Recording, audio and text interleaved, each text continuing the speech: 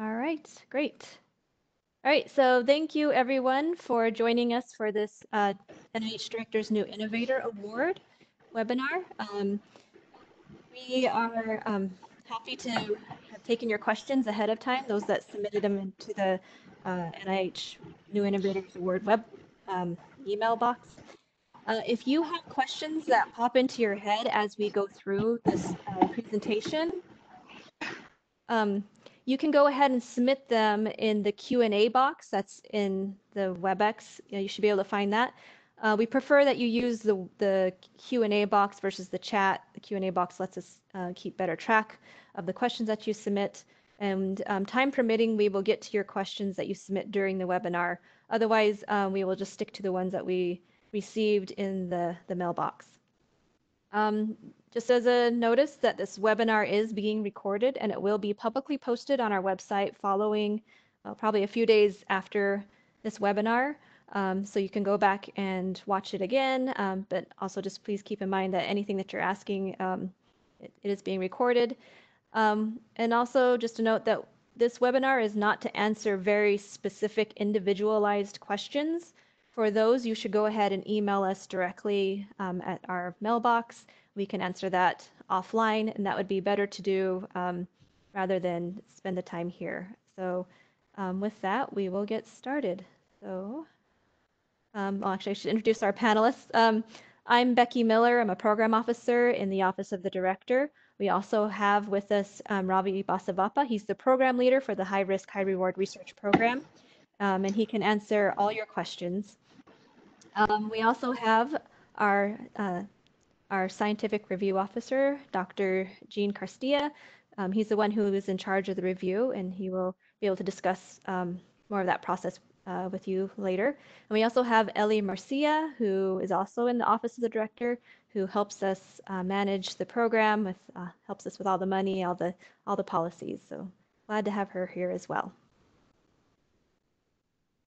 So to start off with, Ravi is going to give us an overview of the program. So Ravi.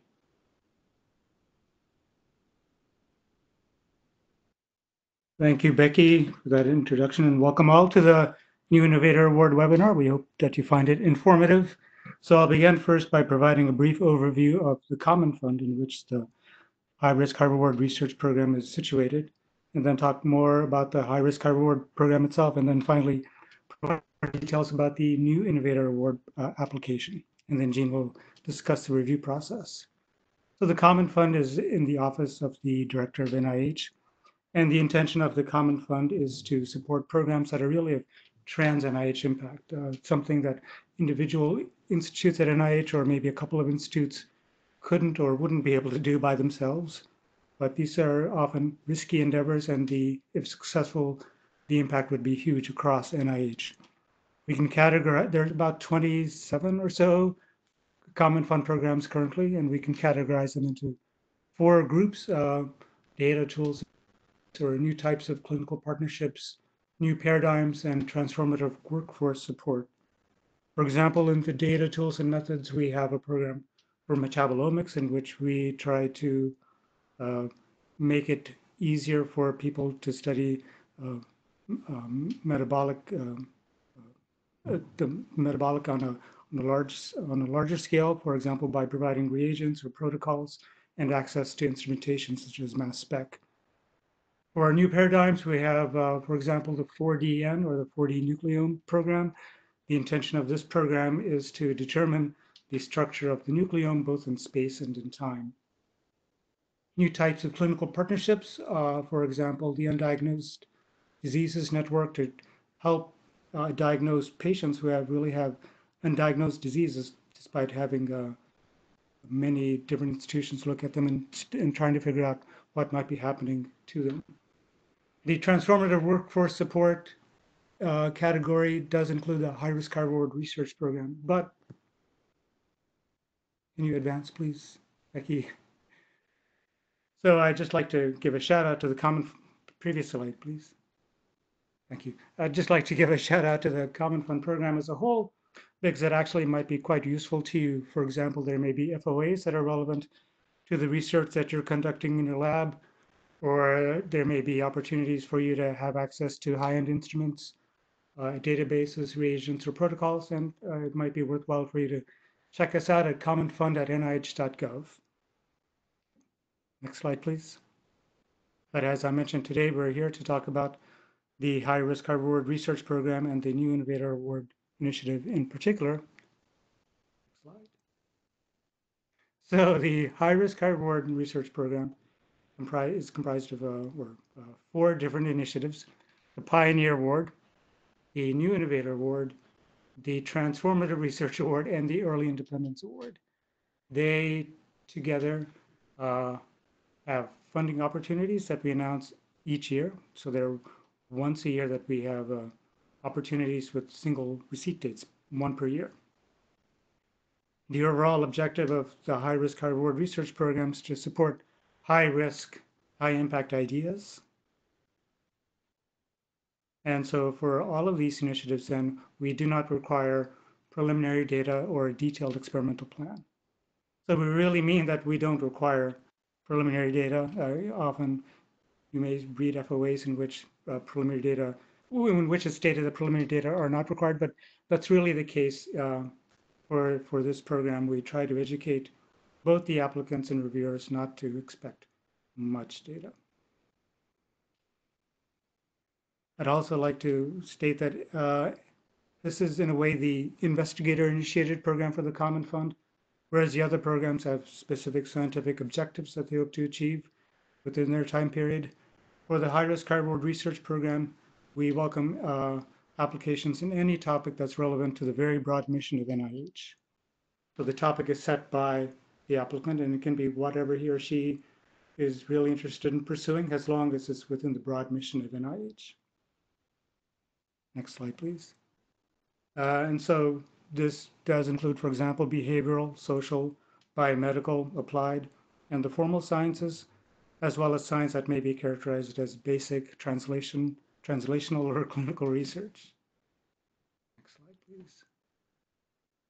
And very importantly, we'd like to encourage applications from investigators with diverse backgrounds and from the full spectrum of eligible institutions. So, you know, there's a lot of talent across this nation. We want to be sure that we tap into the uh, in, into that uh, scientific potential that's represented in the country, not uh, not focus on a few institutions or a few uh, subject matter uh, or a few subjects, but really tap into the full spectrum of research that's represented in the country and by the full spectrum of investigators and, and institutions in the country. Next slide, please. Before I begin, uh, provide a little more detail about the new Innovator Award program, I'd first like to acknowledge the High Risk, High Reward Research Working Group. The roster is given on this slide. The HRHR program is a large program with many moving parts.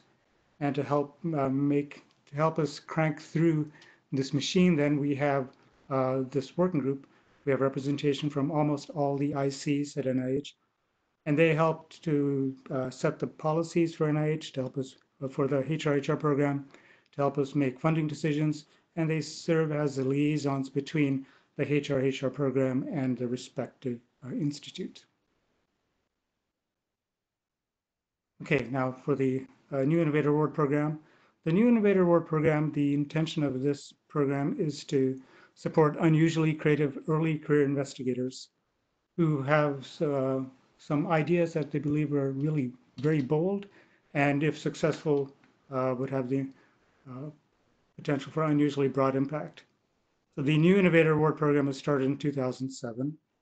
As I mentioned, it's targeted for early stage investigators, so it's restricted to early stage investigators.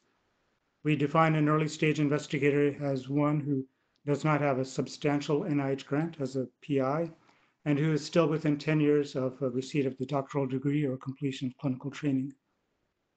For this uh, initiative, we require awardees to commit at least 25% research effort. So this is research effort only. We don't consider effort toward clinical duties, administrative duties, or teaching duties, for example. It's only for research. The awards are uh, pretty generous. The award level is $1.5 million. over about a five-year project period. The unusual aspect for this initiative, though, is that all the money is given in the first year of the project period. So if you get a new innovator award, uh, uh, the, the award is made next year. So next year you'd get 1.5 million dollars in direct costs and uh, the associated indirect costs, and you to have the entire project period, multi-year project period, over which you would be able to spend it. This provides some flexibilities for, especially for those who are that might be useful, uh, especially for those who are starting their research labs. For example, in the first year, you may wish to spend a lot of money buying capital equipment, or you may wish to ramp up more slowly and uh, add personnel later on in the project. Uh, however, an important aspect of multi-year funding is that uh, all the money must be spent within the about five-year project period, five years minus about three months. And uh, that's by that's by government statute. NIH has no discretion in the matter. Uh, no cost extensions are not allowed. So if you do get a new innovator award, please be sure that you spend all the money within the project period. Otherwise, the money goes back to the treasury. Uh, and the new innovator award uses the DP2 activity code. Uh, the standard grant at NIH is the R01. This is the DP2. And you may uh, hear this referred to as a DP2. That's a colloquial term, and it refers usually to the new innovator award program.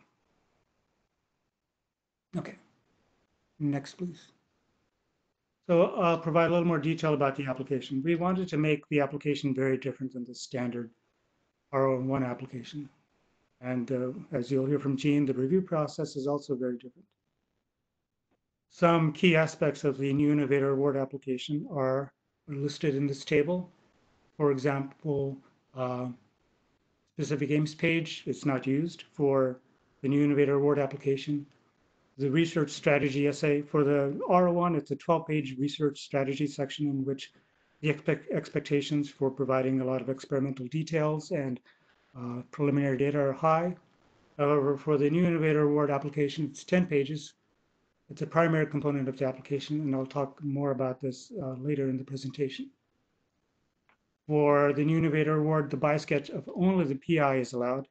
Uh, PI uh, biosketches of other key personnel or collaborators are not allowed. And that's because the focus is very much on the qualities of the investigator, on the qualities of the PI. The bibliography and reference cited section is not used for the new Innovator Award application. You are encouraged to uh, provide the really critical citations for that, that provide the foundation for your proposal, but they must be within the 10 page limit. The budget, no detailed budget is allowed. Um, typically for an NIH grant, you have to provide a lot of details, especially when the the um, the award level is over $250,000 per year in direct cost. But here, all you have to do is say, hey, I want $1.5 million. And uh, that's all we require, and that's all, and that's all you can actually submit. You can't provide any more details about the budget. Equipment section you do not use. Letters of support are not used. Resource sharing plan, they're not used as well. Uh, but resource sharing plan will be requested as just-in-time information if a, an award is likely. And next slide, please. And other component, no, previous slide. I just highlighted this in bold. And the bottom uh, row, other components and forms. So, but you use these other components such as the authentication of key biological chemical resources, vertebrate animals and human subjects or biohazards, uh, be sure to use those if you do, if, if they do apply to the research that you're proposing. It's a common mistake, for example, for people not to include authentication of key biological chemical resources, but it is required as part of the application if it's appropriate for you to use. Overall guidance is follow the instructions in the SF 424 application guide unless there's specific information uh, guiding you otherwise in the FOA. Okay. Next slide, please. So a bit more about the research strategy essay. As I mentioned, it's 10 pages, and we ask you to provide the following information within that 10 pages. First, the project science areas, uh, one digit code, and abbreviation for the primary and secondary areas. I think maybe Gene will talk more about this, but and you may also have noticed in the FOA that we list nine broad science areas in the FOA. Uh, these are very broad and often overlapping, for example, neuroscience or molecular and cellular biology, behavioral and social science, um, but nine such areas, and we ask you to uh, designate one of those broad science areas as your primary area and another one as a secondary science area. And that, inf that information is to be provided here in the research strategy essay, as well as in the agency routing identifier. That's also, that information is provided in the FOA. But the bulk of the research strategy essay should be devoted to the project description. Here we ask you to describe of what, what it is that you're proposing, why it's important, why it's so innovative. Again, preliminary data are not required. Um, if you do provide data, they will be evaluated. So please be sure to do provide compelling data. If you do provide data, um, most people, it's, it's often the case that um, it's, it's not uncommon for people not to provide any data and still succeed. But most people do provide some data uh, to give a glimmer of hope that whatever they're proposing can actually be achieved. If you provide too much data, they can actually work against you because reviewers may say, well, everything looks eminently feasible. This is better suited for a standard R1 than, uh, than a new innovator award. And along these lines, we ask you to state in the FOA that per the instructions in the FOA, you're not providing substantial uh, preliminary data or a detailed experimental plan. Given that, however, you should still be able to convince the reviewers that you have thought deeply about the project, that you have considered what you consider, that you have considered uh, the risky elements, that you articulate what those are, that you have um, thought of alternate approaches, for example, uh, that you will pursue the research in a rigorous and robust way. If you're using uh, vertebrate animals or human subjects, you should also give the numbers of subjects that you plan to use, and uh, key biological variables, such as whether you're using sex as a biological variable. Usually uh, people do that as a, people do use sex as a biological variable unless they're really compelling explanations not to do so. So overall, you need to convince the reviewers that, uh, you know, you just can't say, I'm going to solve cancer or Alzheimer's disease. You have to back it up with some really compelling logic about how you're going to go about this. Uh, you, in this essay, you're also asked to address innovativeness, provide an argument of why what you're proposing really is exceptionally innovative, uh, asked to provide some description of yourself, of why uh, you have conducted uh, or document how you have conducted unusually innovative research in the past. I've been able to overcome substantial conceptual and technical hurdles, been um, willing and able to challenge paradigms or establish new paradigms, investigator qual uh, okay suitability for a new innovator award program. Here you're asked to uh, argue why what you're proposing really is well aligned with the spirit of the new innovator award and not suited for more conventional NIH grant activities such as the R01. You're also asked to provide a statement of research effort commitment that you'll that you are willing and able to to commit at least 25% research effort toward the project. Bibli bibliography and citations, again, you're encouraged to provide the most critical citations in uh, within the 10 pages to help buttress your arguments. But they may be in, a, in an abbreviated form as long as the identifier is unique. You don't need to provide the full citation, but some abbreviated form is fine. Okay, next slide, please. So maybe a few points for you to consider while you compose your essay. Uh, as Gene will describe, there it, we use a very unusual review process, and the, the, many of the reviewers will not be topic experts in what you're proposing. So be sure that what you write can be easily appreciated by people who are well outside your field, uh, that they're able to easily recognize why what you're proposing really is ex exceptionally innovative and why it does have the potential for unusually broad impact. So it may be useful for you to begin with a description of the landscape of the field, what the current boundaries are, what the current state of the art is, and why what you're proposing is really would help to push well past the current boundaries. It really helps to set context uh, for these applications. And, and then ease the reader into the jargon of the field. Don't assume that all the reviewers will have the same level of expertise that you might expect for a standard R01 review. So ease the readers into the whole ideas and, and the jargon of the field. Though no data or detailed experimental plans are required, again, you need to convince the readers that you have thought deeply about the project, that you've identified the risky aspects, how they'll be mitigated, that you've thought of alternate approaches, and convince the reviewers that the research will be performed in a robust and rigorous manner. You know, that if you're proposing a new technique, then how are you going to validate that the technique actually is measuring what you uh, hope to measure?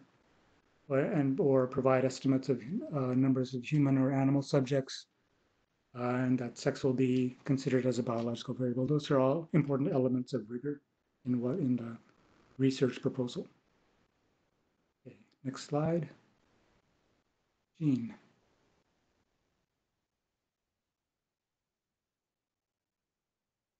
Can you hear me? Yes, we can hear you. Awesome. Thank you very much, everybody. Thanks, Ravi. Thanks, Becky. Uh, this is an exciting time for me. Uh, this is my first uh, time with this program. This program is a long-lived program here at the NIH. Uh, uh, a lot of successful applicants uh, and, and, and, awardees for this program. Um, and, and I'm looking forward to, to keeping this program going further and, and continue its success. So uh, I'm Gene Carstea. Uh, I'm at the Center for Scientific Review, and, and our job is to review uh, the applications that come in. This is not a big, it's not a small job. It, it, it's actually a very big job.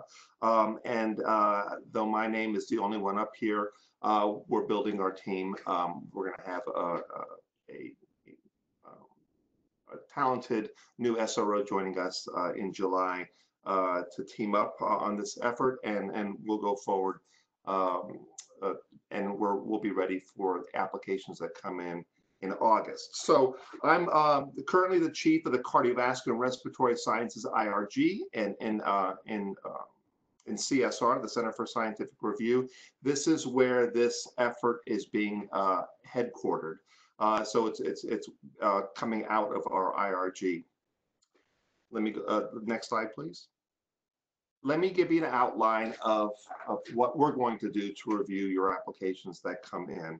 Um, this is just uh, an outline of the review process. Uh, obviously, the, the great ideas come out of your you and your lab um, through applications that you put together as Ravi um, has outlined. Uh, the applications are sent uh, to the NIH uh, and received at the Center for Scientific Review, and they come via grants.gov, uh, the process that you will um, um, submit your applications. Uh, deadline for applications is late August. I believe it's August 21st is when uh, uh, your applications are due. And then begins the pre uh, review process of evaluating the applications. I'll, I'll, go over that on the next slides here. But just going down through this outline here, which will I, I will detail in the, in the next slides. Um, after the applications are received and initially evaluated, uh, they go through a two-stage review process. This is different than our normal standard study sections uh, where we evaluate, let's say, R01 and, and R21 applications. Um, the two stages of review. First stage is all the applications are uh, assigned to experts that we find across the country. Um, we will assign the application to them and uh, they will be evaluated uh, and, and, and submitted back to us. From that, um, finalist applications will be generated from the en masse uh, bulk of applications that we get. Uh, again, it's not small. Uh, we can uh, imagine somewhere between 500 and possibly 700 applications. That's what we had historically in the past. So uh, going to stage two is what we call the finalists. I'll outline what the finalists are. Uh, the finalist applications will be sent to a board of editors. I'll talk about that as well. Um, and, and all of the finalist applications will be discussed and final scores will be generated. From the final scores and the discussion, the product of the discussion, the, the summary of the discussion, that information will be transmitted to um, the advisory council that is set up. Um, the advisory council is made up of members of many of the institutes and centers around the NIH that will be funding these applications, or that will be uh, that will be uh, awarding uh, the applications here. That's why we have this funny name called the Council of Councils. It's the council of the different councils, uh, uh, the, the institutes and center councils. Um, from that advisory uh, council meeting and, and the recommendations that, that come out of that, um, there will be uh, the selection of awardees that are be made by the Office of the Director and members of the institutes and centers of the NIH. Um, and uh, from that, uh, a public announcement will be made about a year from now, a little over a year from now in September, uh, which will allow you to uh, uh, work on your projects, uh, generate great results, and hopefully will be the genesis of, of many more NIH applications that you'll have in the future. So next slide, please. Let's go through the peer review process. Um, as we mentioned, uh, when applications come in um, and uh, uh, that they arrive at CSR in our group, uh, they will go through a pre-stage one. All applications are assigned to one panel. They are our panel that we, that is located within CVRS. Um, uh, an administrative review will be uh, will be generated. That is a check for completeness of the application uh, and and an assessment of of or a confirmation of eligibility as an early stage investigator of each of uh, of the applicants there. Um, the check for completeness is done so that we can make sure that all applications are compliant. Applications are then grouped into the areas of science. As Ravi uh, mentioned, there are nine areas of science. Uh, and uh, I think you have access to them. I can go over them. Uh, number one is behavioral and social sciences. Two is chemical biology. Three is clinical and translational research. Four is infectious diseases and immunology. Five is instrumentation and engineering. Six is molecular and cellular biology. Seven is neuroscience. Eight is high throughput and integrative biology. And nine is bioinformatics and computational biology. Um, from the applications that are in, we will look through uh, and identify or evaluate for potential conflicts of interest for each of the applications. That is institutional conflicts, collaborative conflicts. And these are conflicts that may exclude certain reviewers from reviewing certain applications. Uh, we want to make sure that that all of the review of merit is based certainly on merit and not uh, on any uh, inappropriate bias that may be uh, generated by these inherent conflicts of interest. And finally, uh, mail reviewers will be then recruited to cover all representative areas of science uh, in, in, in, the proportion of, of the number of applications that we get for each area. Next slide, please which gets us into the peer, uh, the, the stage one of the peer review. So uh, we will recruit and seat a panel of mail reviewers. Mail simply means that that uh, these uh, reviewers will review from their own venue uh, um, and and and submit their their critiques to us uh, in in as compared to standing panels or, or normal study sections that we have at the NIH where reviewers will both review it and then uh, attend the meeting themselves. In this case, uh, their assignment is to review applications and send it to us um, without coming to to to, to the um, to, to, the next stage of the review there. So we'll recruit the panel of mail reviewers. We will match the reviewers with the science, and we will uh, we will assign three reviewers for every application. Uh, the evaluation uh, of your applications, as Ravi uh, uh, indicated, is uh, will be done a little bit differently than, than normal R01 or R21 or normal applications that you would uh, submit to the NIH. Uh, there are three criteria that will be observed. Um, number one is the importance and potential impact of the scientific problem. Number two is the novelty and innovativeness of the, of the approach. And number three is the creative potential of you, the early stage investigator. Um, those are the three characteristics that will come out of your application that will be evaluated by the reviewers. Overall impact scores uh, will be generated uh, from one to nine, one being the best, nine being the worst. Um, and um, an overall impact paragraph uh, will be generated for each of, of these, um, for, for each of these applications here, based on those three criteria and by the evaluation of your application. Next slide, please. So the selection of the finalists that will go on to stage two. Two ways of, of doing that. Number one is, is by, based on the rank scores that we get back from the mail reviewers, the average of the three reviewers uh, will have a, a, ranking from best to worst. Um, there will be, the, the, the top scores will be automatically moved over uh, uh, as a finalist. Then there'll be um, an area where um, it will be not only uh, the, the score, but it'll be a combination of the scores and the impact statements. Say these are for, say, applications that may have received two stellar scores and one not so stellar scores, and there may be a group there of applications there.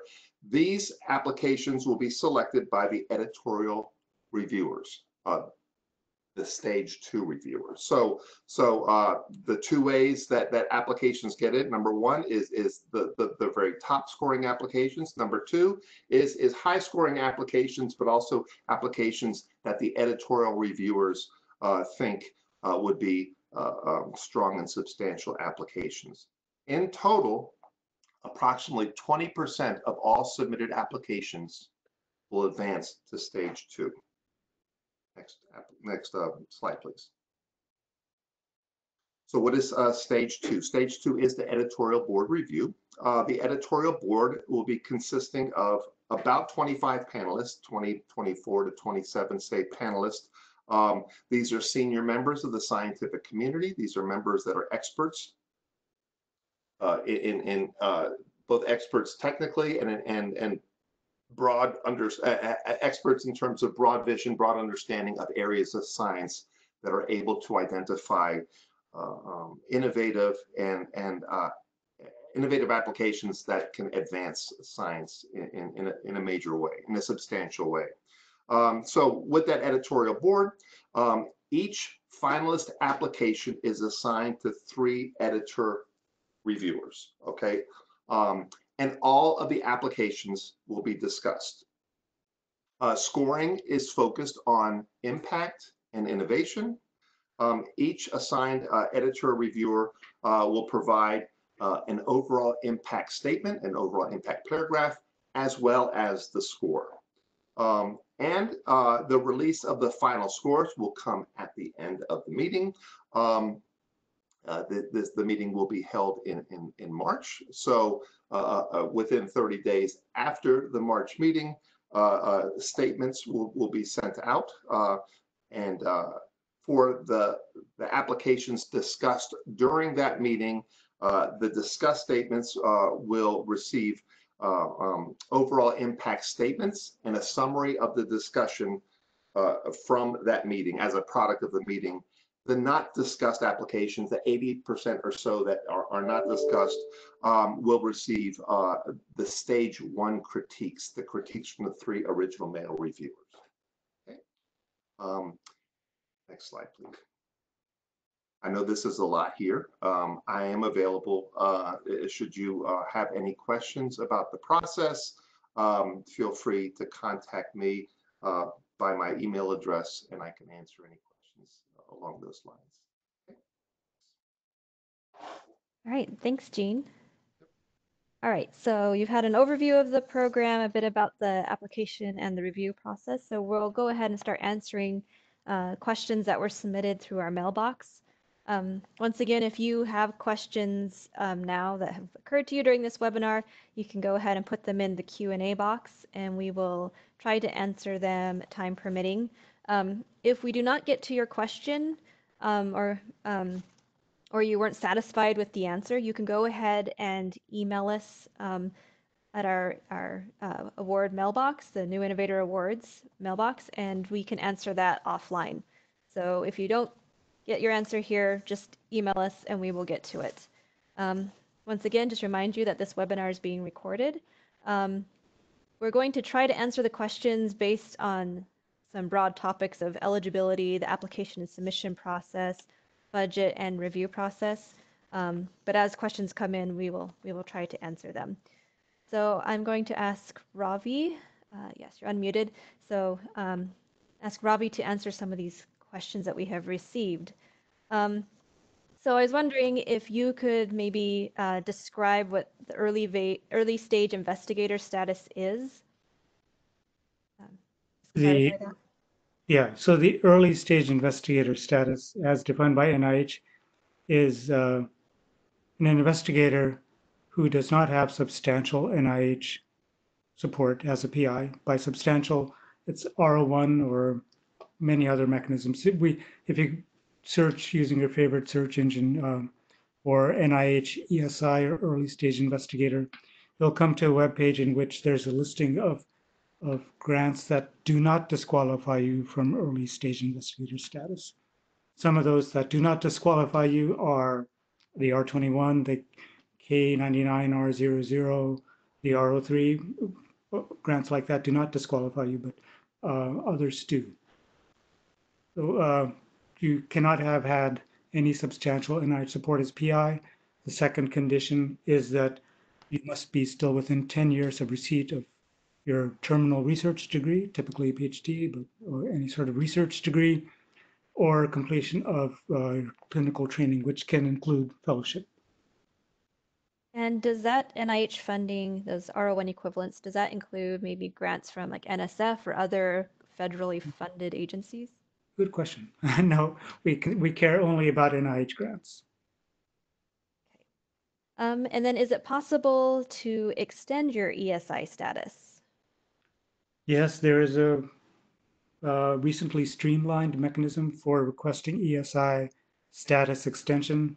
It uh, there's a website for submitting, or you can do it through your Commons account, I believe, as well now.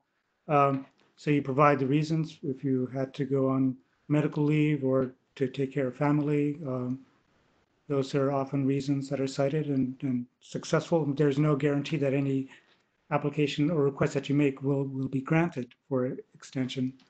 But those are some very common reasons. Uh, given the pandemic situation, uh, if your research effort has been halted because of COVID-19 and your inability to conduct research, then that also will be considered as a possible reason for granting you ESI extension.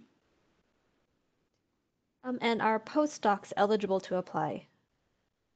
Yes, they are. Typically, that's pretty rare for our postdocs to apply. The condition is that you must have a guarantee of an independent research position, that is, have your own lab, uh, by September 1st of, in this case, of uh, 2021. Uh, so you should have something already lined up, and it's the institution that submits the application on your behalf. The the award actually goes to the institution, not to the investigator. And the very act of an institution submitting an application on your behalf affirms that you would have a suitable position at that institution in case of award by September 1st, 2021. And are only new investigators eligible for applying? There's a, that's a nuanced sort of response is needed for that. New investigator is an NIH term, which means somebody who has never had NIH funding. In addition to that, or who's never had substantial NIH funding. In addition to that condition is that there's a time window for eligibility uh, that is within 10 years of receipt of PhD, uh, terminal research degree or completion of, of clinical training. So you have to have both new investigator status as well as be within the, the required time window. And there's um, a question about the ESI eligibility cutoff. Is that based on time of application or time of award? It's based on time of application. And um, is there a way you can check your status beforehand? Uh, well, yeah, so you can enter all the relevant details in your Commons account, and then it should, the uh, NIH system should calculate your status and indicate. Okay. Um, Let's see. And if um, you get the new innovator award, does that remove your early stage investigator status? Yes, it does. Uh, the DP2, uh, the New Innovator Award, is considered a substantial uh, NIH grant, and so receipt of the award would remove your status as ESI. Um, and if you are going to be awarded like an R01 equivalent award around the same time as the DP2, um, can you still receive the DP2? The condition is that since this is meant for early stage investigators exclusively, you cannot have an R01 that's active at the time that uh, a new innovator award is issued. So you can have two, for example, you could have an R1 application and a DP2 application um, being reviewed or and being considered for funding at the same time. They have to be scientifically distinct proposals, of course. And if the timing is such that the R01 uh, award is is becomes active before the DP2 award is issued, then at that instant you become ineligible for the new innovator award. Um, and are projects in behavioral and social sciences competitive? And is there a bias in their awarding rate? Uh, we are we are very closely monitoring such aspects of scientific diversity as well, and our analysis indicates that we do uh, about as well as the general R01 pool in, in receiving behavioral social science research and awarding behavioral social science research. So there's no bias against such research in the New Innovator Award review process. And we really would like to diversify the scientific portfolio for the New Innovator Award program. Um, and can proposed projects cover both basic and applied aims, or are successful proposals more likely to stick to one or the other? Um, people can uh, and propose uh, projects that span both basic and applied. It's not too uncommon. The other Um, thing you should consider is innovation and impact. Uh, The innovation might be in how you, um, in the basic approaches that you're proposing, or it could be more in the translational aspects once you have the, the basic uh, components of the research uh, uh, worked out. Right, and is it okay for a person to explore an area outside their expertise if it's the next reasonable step for their work? Yeah, so there are two points to that, I think. So we do encourage, or people who are proposing research that really pushes themselves a bit scientifically, I think tends to do fairly well in review. We want people to to stretch themselves scientifically. Uh, so what, and the next step is not something that you should propose for the new innovator award. We're not looking for the logical logical extension of what you've been doing or the next uh, set of logical steps for for what you've been doing. It should be something that's that's a bit of a leap both for the science and for you. Um, and how important it is is it to have a track record that covers the entire scope of the proposed project to be competitive? Or can collaborators be used to fill in gaps? Uh, collaborators definitely can be used to fill in gaps. You don't need to demonstrate expertise in all aspects of what you're proposing, again, because it's good if you do stretch yourself a bit scientifically. Although we don't accept letters of support, you can mention letters of support. I mean, you can mention collaborators in your 10-page research essay, um, uh, and and briefly describe how they would be contribute how they would be contributing to the project. But it should be clear to the reviewers that although you have these collaborators, uh, that you're the one who's still driving the scientific agenda. It's your vision that's being pursued. I can tell you from a review standpoint that when we have early stage investigators uh, that have applications in there, we instruct the, the reviewers, and the reviewers do know that um, uh, they don't look at track record, they look at expertise and training and, and their ability to, to complete the project. So uh, for early stage investigators, track records, uh, um, it, it, it's the expertise and the training that, that they have. Great, thank you, Gene. Mhm. Um, we just have some more questions about ESI. So for MDs who have done residency and fellowship, does the ESI um, completion date count those, or is it to, from your uh, degree? No, it's clinical training, so it includes periods for residency as well as fellowship. All right. Um, and um. Um, can non-tenure track faculty such as research scientists apply? Yes, and again, that's determined, eligibility for that is determined by your institution. If your institution is willing to submit uh, an application on your behalf, that signifies to us that the institution will provide the necessary resources as, as described in the application for you to execute the research, and that you would have status at the institution to pursue the research. Um, and are applications of investigators who have the ESI extensions treated separately or differently during the review process? Nope, that's totally blind to the reviewers. All right. Um, uh, okay, some of these are very specific. Um, all right.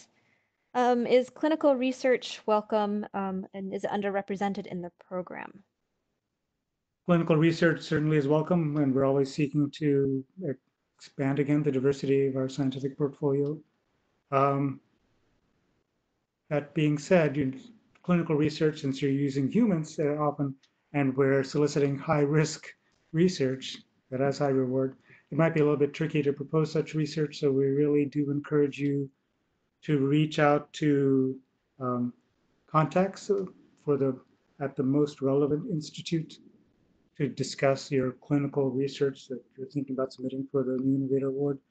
They would be able to provide some guidance, first of all, on, on the research itself, but also to help ensure that what you're proposing really is conforms to the clinical uh, research policies of that particular institute. The clinical research policies vary from institute to institute at NIH. If a new innovator award is made, it's managed by the scientifically most relevant institute.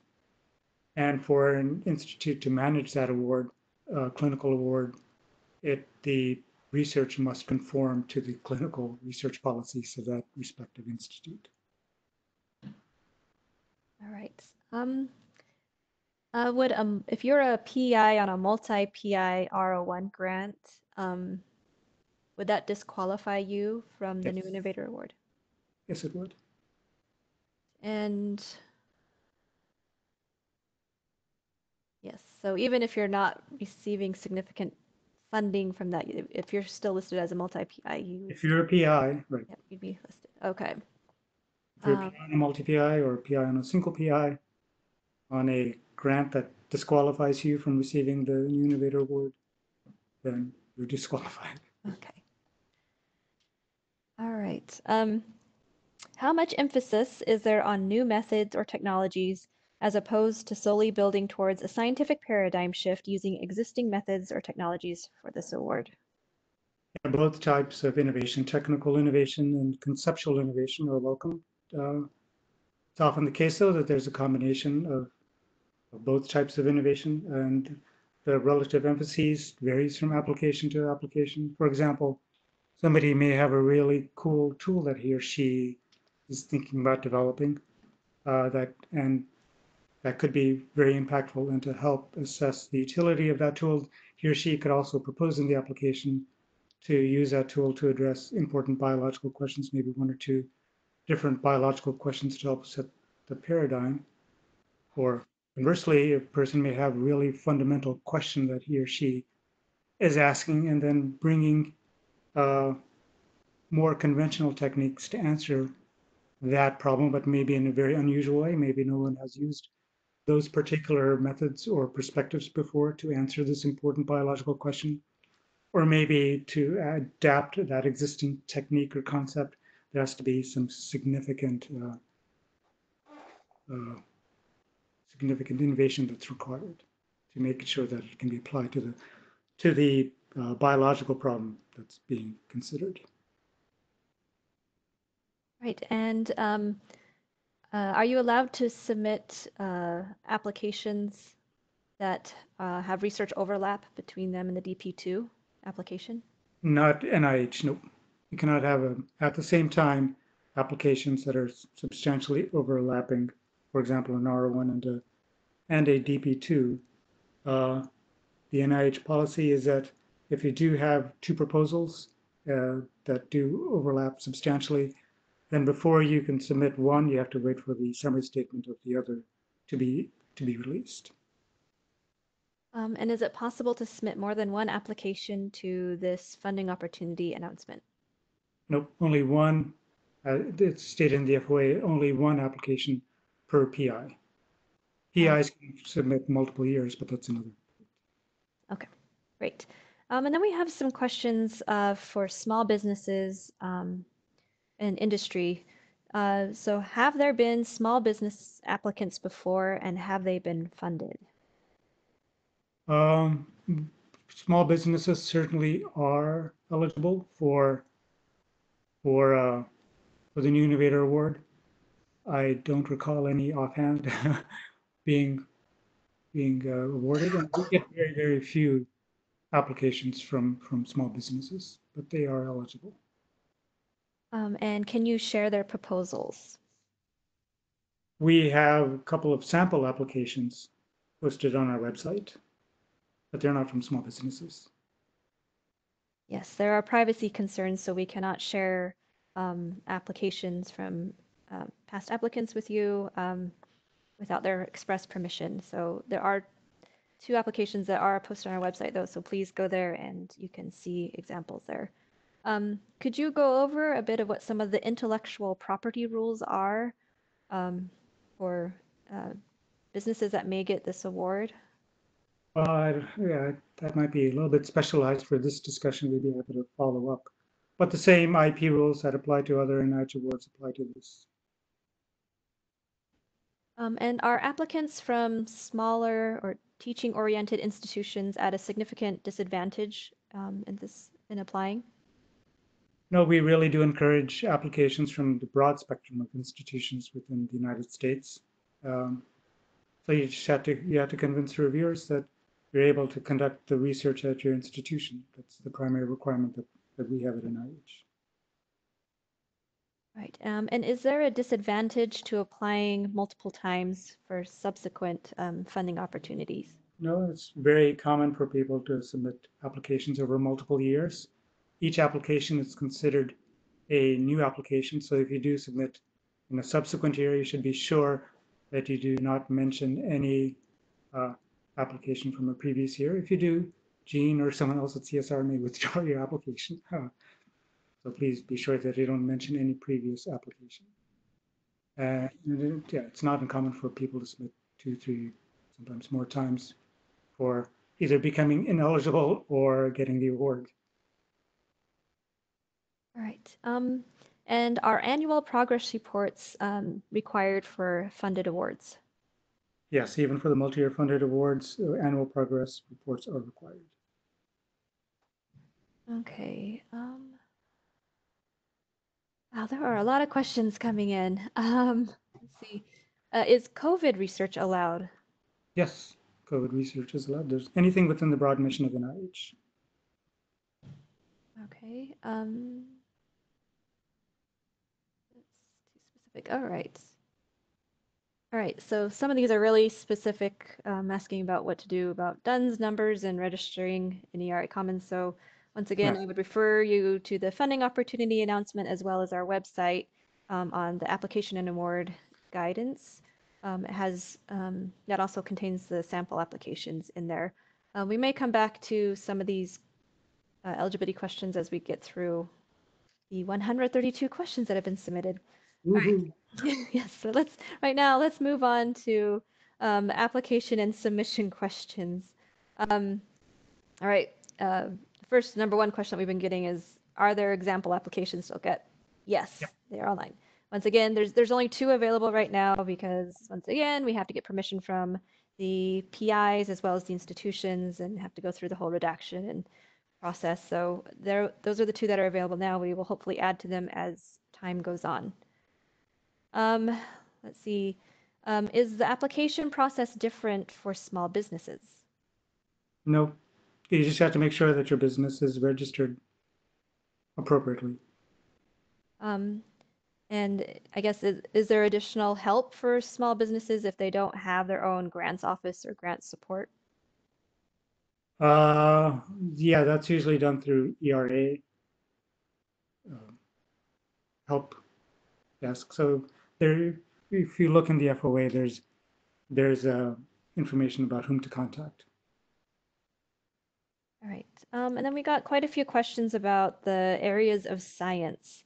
Um, so what's the purpose of these uh, areas of science and how do I choose between them? To help in the review process, as Gene outlined primarily, the, and you're asked to choose two areas, one as a primary, one as a science, primary area, one as a secondary area. Um, and which ones you choose are pretty much up, are, are definitely up to you, but you should consider which sets of reviewers might have, might more easily be able to appreciate the innovation and potential impact that you're proposing. If you're, you know, if you're choosing to develop tools, but you're addressing a deep biological question, then do you think it's a molecular biologist or cell biologist who will be able to appreciate more what you're proposing? Or is it somebody who's an, who's an engineer, for example? Or if you're doing something that's behavioral and social science, but also has some um, computational biology, then which, which type of reviewer do you think would be most easily able to recognize the, the coolness of what you're proposing? Um, can NIH staff help me select my areas of science? Uh, typically, no. I mean, I'm able to give low resolution input if you want, but uh, I think we recognize that the science areas overlap substantially. Um, and could you just describe the category, the science area for high throughput and integrative biology? High throughput integrative biology is a large area of science that encompasses, for example, uh, uh, microfluidics, if you're proposing that for high throughput sort of assays, or integrative using what are commonly known as uh, omics approaches or systems biology approaches. That's what we mean by uh, high throughput and integrated biology, something that tries to, uh, has a lot of data associated with it and tries to integrate it in some way. All right, and is there um, information or um, I guess statistics on the success of um, the different science area designations between the applications? Uh, I don't think there's anything public out there, but we do take a look, uh, of course, to see how the various areas are doing, and I don't think there's any real bias for any for or against any particular area of science over the years. Great. Um, there's a question, um, are letters of recommendation required or allowed? Nope, and nope, not required, not allowed. Um, are letters of support allowed? Nope. Um, all right. Um, should uh, uh, should uh, investigators have a statistician? Let's see. Should you have a collaborator like a statistician to justify the sample size in your proposal? Uh, you don't have to have a statistician as a collaborator. I mean, if you, it's a good idea to give some sort of power analysis uh, to justify the numbers of subjects that you're using, but you know, uh, if, but if your what you're proposing doesn't really require high level of contribution from a statistician, and and and statistics is not a skill that you happen to have, then um, and, and, if, and if it's not a if it's not a a critical component of what you're proposing, then a collaborator is not necessary to be named.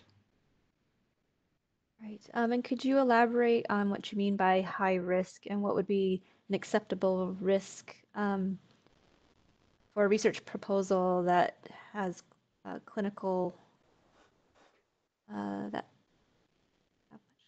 that uh, may require clinical work, I guess. Yeah, risk is in the eyes of the reviewers as well as reward. So something, the way they calibrate risk is some, one way they calibrate risk is this is is this the sort of science that they tend to see in R01 applications? Uh, is this something that's really outs, uh, outs, outside the so-called box? Is this something that really is intuitive, is not intuitive, maybe even counterintuitive? Is it something that other people already are not pursuing and for which there is very little supporting data? Okay. Um, all right. Um, and are subawards allowed to support a collaborator from dis- different institutions? Yes, such awards are allowed. Okay. Um, let's see. So, uh, what should the format be of the research strategy essay? People are, as long as you have the same overall structure that's for the instructions in the FOA, people are pretty creative in how they write their essay. So I think the major things to keep in mind is make it easy for the reviewers to understand what you're proposing, why it is so uh, innovative and why it is potentially so impactful. So however you wish to organize your essay within the within the constraints of the FOA, that's a primary consideration you have ease for the reviewers. Um, and how much detail is expected in the research plan and how should it be presented? Well, you only have 10 pages and we ask you to devote quite a bit of the 10 pages to other aspects of the application, such as your innovativeness and other things.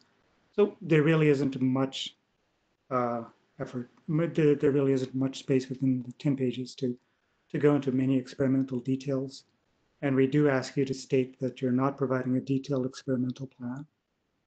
Uh, so at the same time, so you don't need to, for example, describe the, the proverbial pH of the buffer that you're going to use, but you should convince a reviewer yes, that you have thought about this project and, and how you might pursue it. So overall, uh, again, a low resolution sort of approach that you're taking uh, typically suffices. Okay. Um, how large should the project you propose be, and is there a penalty for being overly ambitious? Yeah, well, what you propose should be commensurate with the, the scope of the award, $1.5 million uh, over about five years. You are encouraged to be a bit more ambitious than for the typical R01, but you uh, but you should not be crazy ambitious. Um, is it better to include preliminary data in the application, or would the presence of preliminary data be counted against the innovativeness of the proposal? Yeah, again, some data, it's, it's, most people do provide some data to, to give uh, some reason for hoping that whatever is being proposed will be achieved. Uh, some people don't provide any data and still they are very competitive and receive the award. Uh, it's happened uh, it's not uncommon for when people provide a lot of data that the reviewers will say, oh, this is feasible, it's better suited for uh, an R01 than uh, DP2. Um, and how should collaborations be addressed in the application? Um, should you already have collaborators identified and specify them by name, or should you make a more general statement saying that you will get collaborators in a particular area? Typically, it's better to have someone already identified and named in the essay. Maybe Gene can address this point. I think uh, you're trying to get across that that you have uh, a, an innovative project that that you can actually accomplish. Uh, um, it, it is far-reaching. It is it is uh, high level in terms of of, of high risk, uh, but but convincing. Having having that balance that you can convince them you can actually uh, uh, get a good shot at getting this thing done is is important. So um, hedging your bets and, and, and showing that, that you've uh, uh, teamed up with the right talent is, is important. Um, but do you need to include collaborators for the application to be successful? No. Right. And uh, does this application include a biosketch? Yes, only the, the biosketch of only the PI is accepted. Great emphasis on this program again. It's a is the quality of the PI. So the focus is on the qualifications of the PI. Um, sketches of other people are not allowed. Um, and should uh, you avoid overlap of information between the biosketch and what's in the essay? Um, you can use the two to reinforce each other. Um, and can you use hyperlinks to products, inventions, or tools, websites um, in the application? You can, but I don't think the reviewers are obligated to follow the links. Is that right, Gene? They're not, and, and also in, in some cases, uh, um, sending them to a Google page or to, a, um, to a YouTube site or, or something like that, um, is not permitted. Uh, um, the, from, from the review side. Yeah. Because Uh, it can reveal the identity of the reviewer.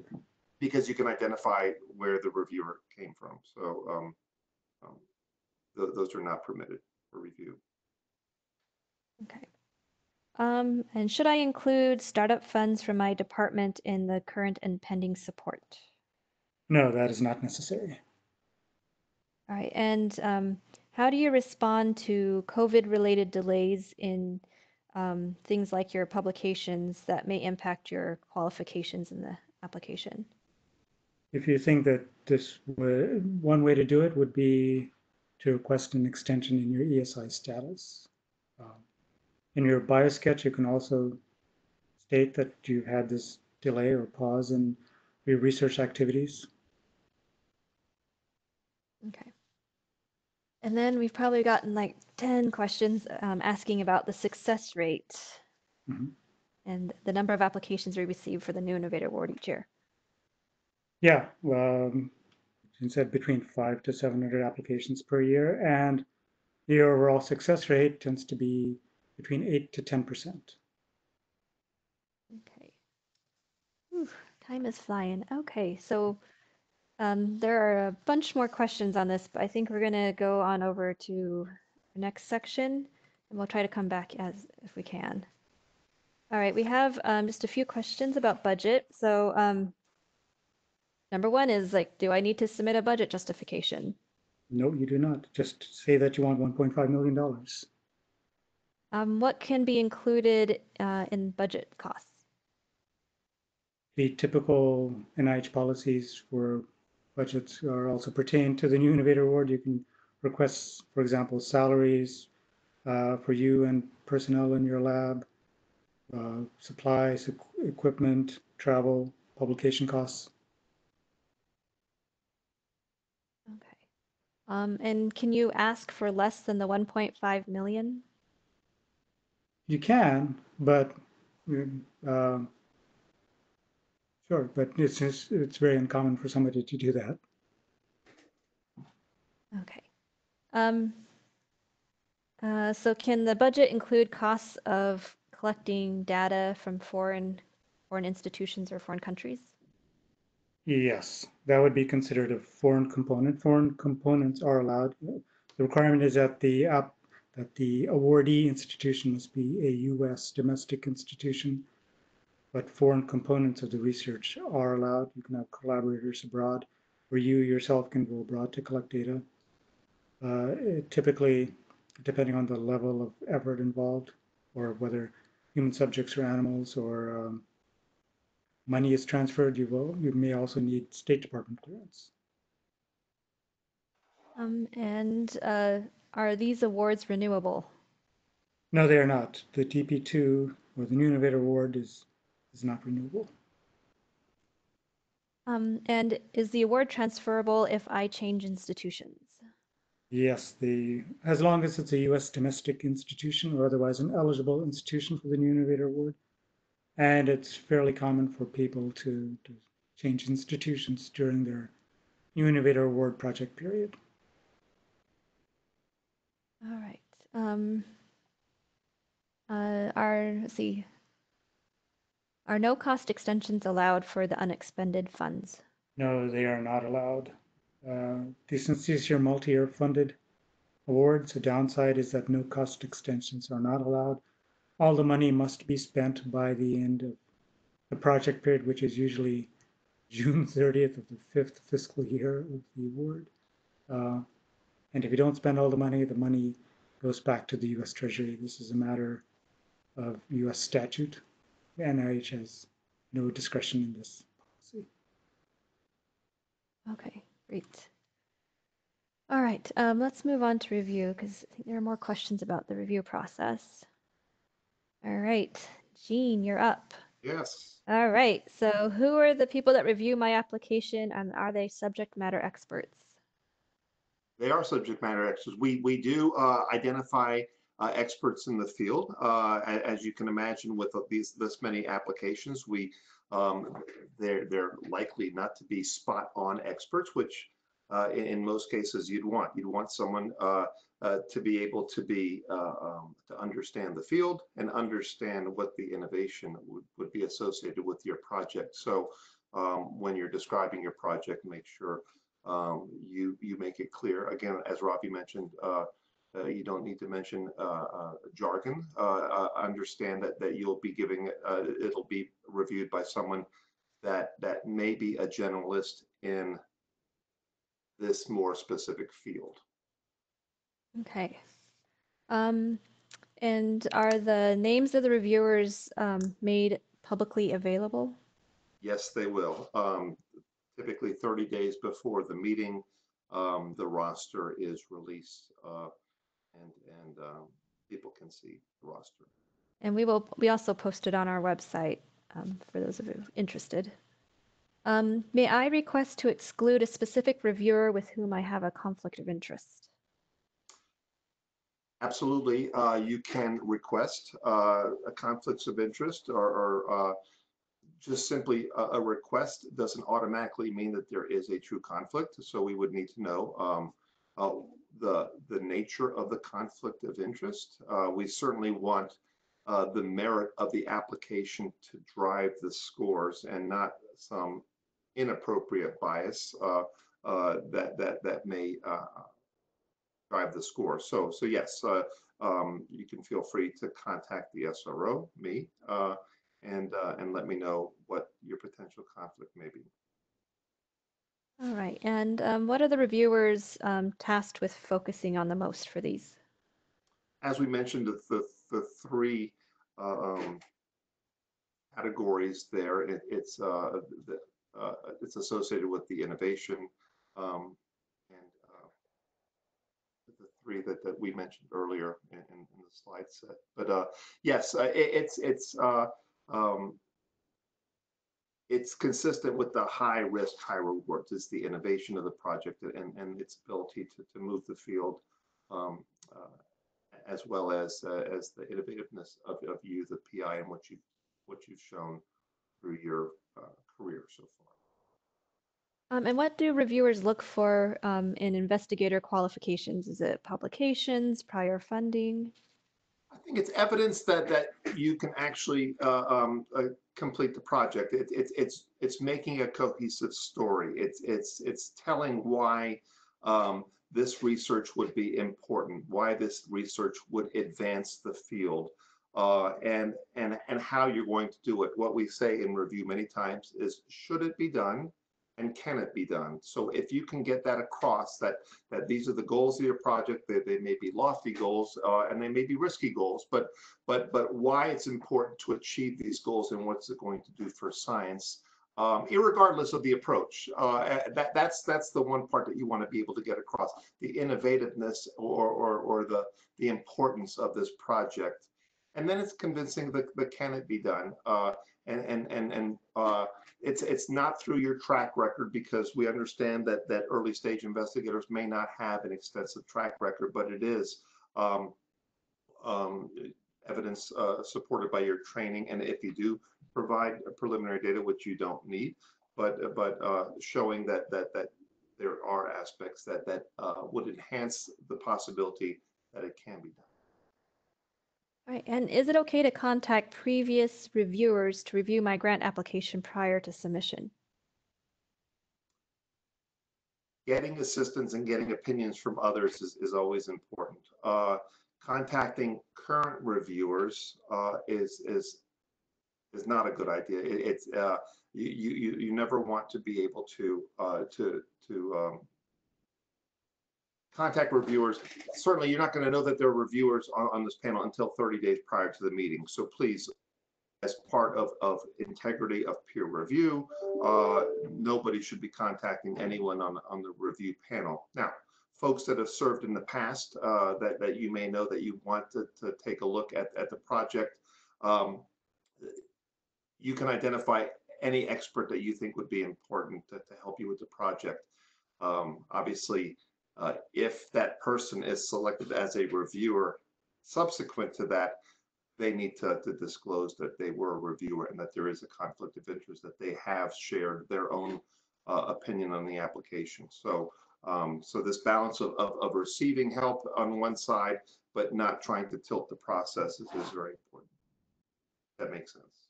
Yes, all right. Um, and uh, is there um, an option to uh, to submit a rebuttal um, to provide clarifications after the review process?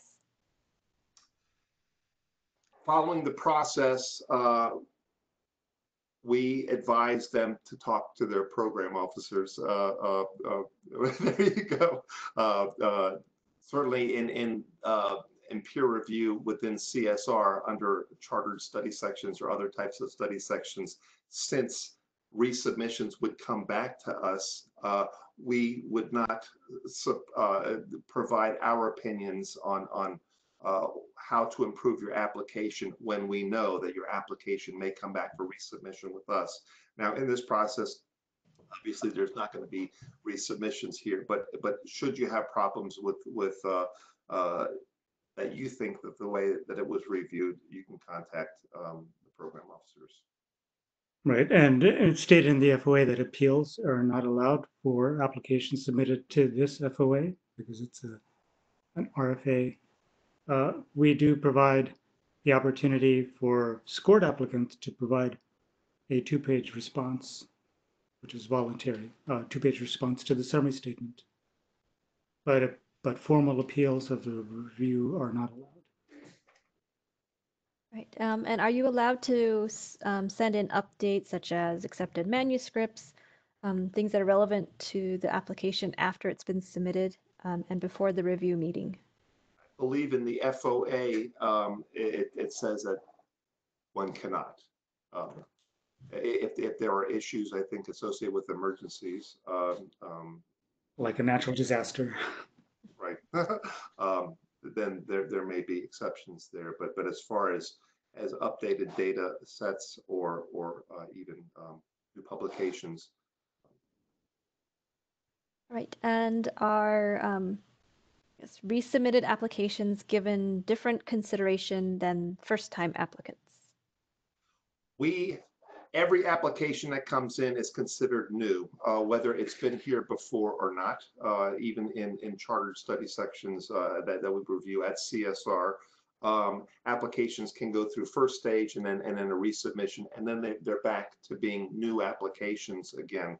Uh, in this particular process, even if an application was seen here before, potentially last year or the year before, if it's being submitted this year, it is submitted as a new application. Uh, For new applications, again, uh, one should never uh, talk about how it's been improved since the last time it was reviewed. Uh, That that would not be, uh, that would be non-compliant. So, uh, um, yeah, so these are all new submissions and they're, and they're not resubmissions.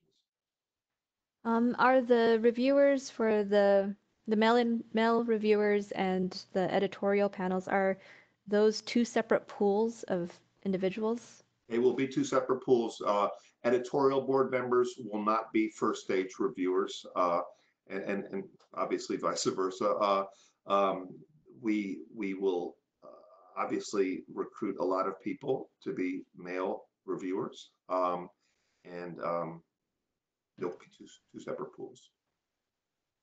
All right, and um, so who should I contact uh, to discuss the science of the application? So maybe Gene, maybe you could just kind of go over the difference between Ravi's role as the scientific contact and your role as the scientific review officer. Right. So our review as scientific review officer is if you have any questions about submission, submission dates, uh, um, what may be compliant with uh, submission rules, uh, um, how, when it's going to be reviewed, how it's going to be reviewed. Uh, if, if you feel that there may be a conflict of interest with anybody, those are administrative aspects of the review, you contact me. As far as the content uh, of, of your application, the science and how the science could be per, uh, presented, since we're presiding over the review, we're not going to give um, recommendations on how you present the science. It, it, it just makes sense. That would be a conflict of interest from our side. So uh, anything uh, along those lines, uh, you, you, how you should uh, present the science. Um, Ravi, is that is that your field? Is that your Yeah. Yeah, so it's like separation of church and state. exactly? All right. Um, uh, do we need to specify which um, NIH institute our application should be assigned to for review?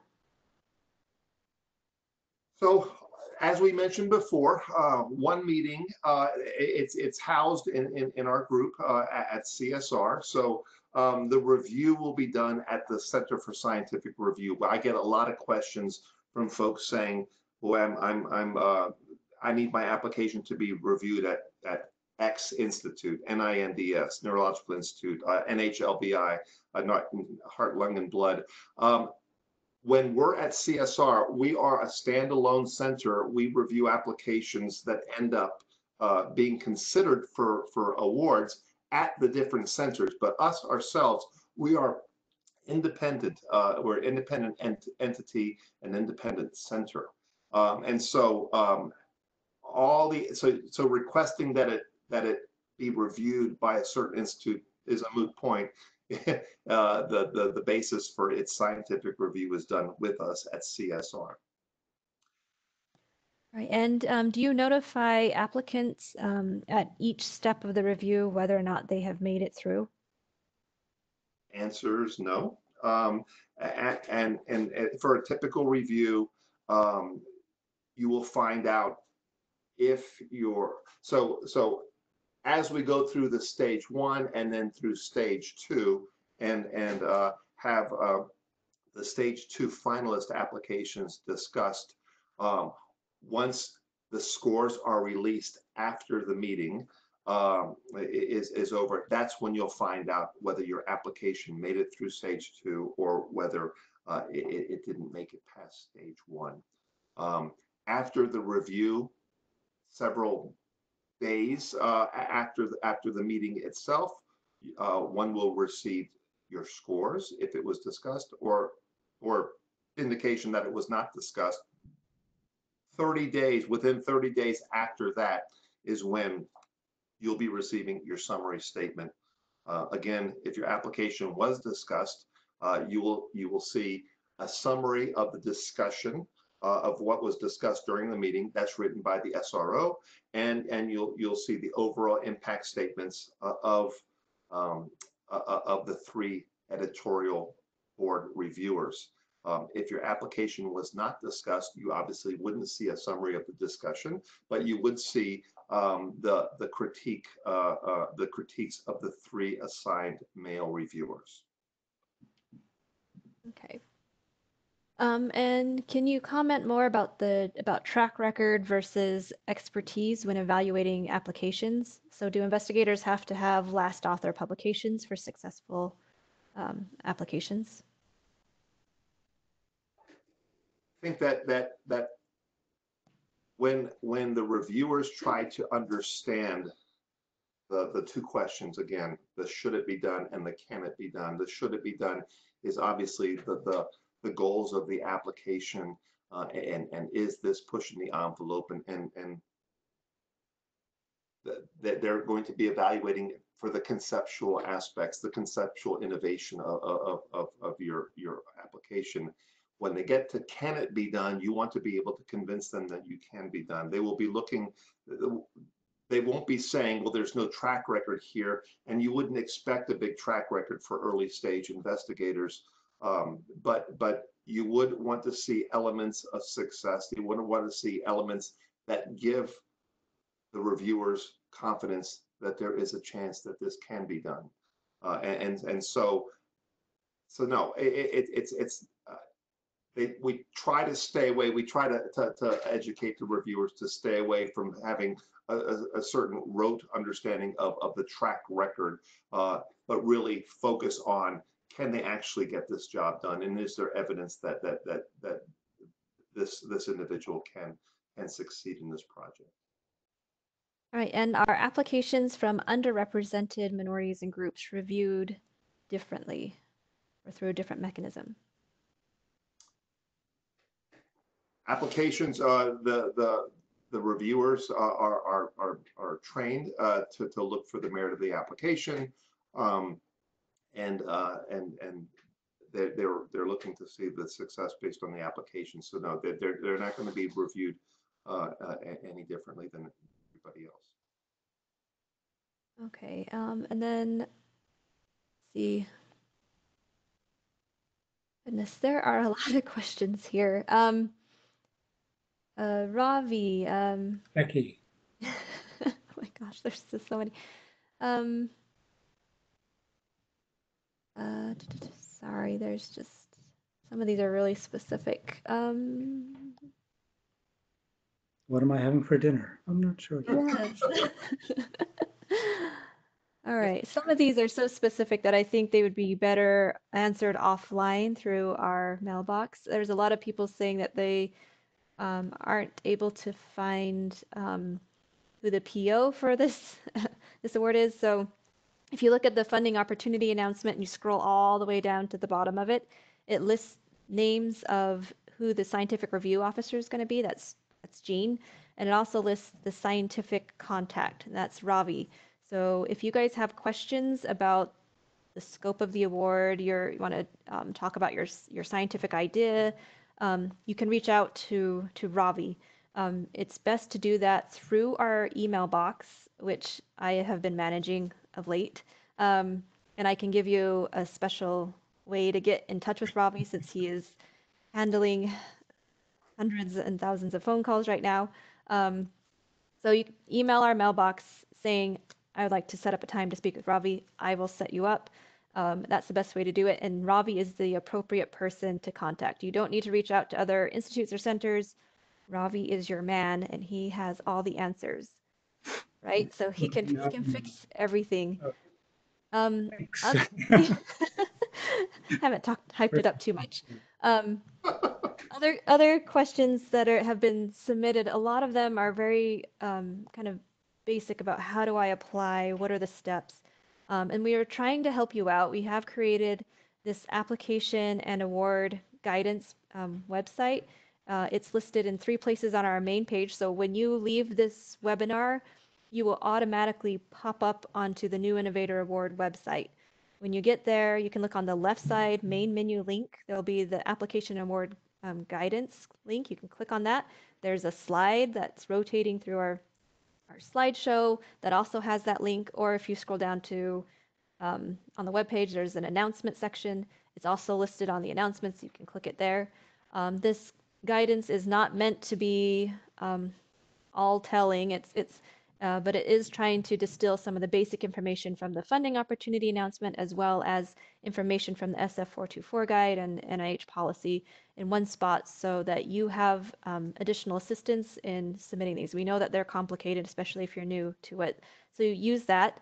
Um, please go there, but if you still have questions, email us and we will answer them as best we can. Um, so we are at 4:30. I know we didn't get to prob- like probably about 150 of your questions, and I apologize for that. Once again, email. we will get to you. Our email is um, actually we have a slide. You can contact us oh, um, at the new innovator at mail.nih.gov. Um, and read the final. Read every line. yes. This is yes. Ellie. Yes. Yeah, Yes, Ellie has spoken wisely. Please read the funding opportunity announcement in fullness. Um, there's a lot of information in there, I know. Um, and then go to the application guide for additional assistance. Um, please try to figure out a lot of these things yourself because we do get swamped with questions. Um, but you are welcome, more than welcome, to reach out to us uh, for if you need additional help. Um, this is being recorded. Um, we have to get we will get the recording. We will get it posted on our website. It'll be on the homepage. It will be prominent. You'll be able to see it. You can download it, and we will also include a PDF of the slides there as well for you to download at your leisure. Um, so thank you all for joining us, and uh, we look forward to your applications. Thank you. Thank you very much. Thank you. Thank you.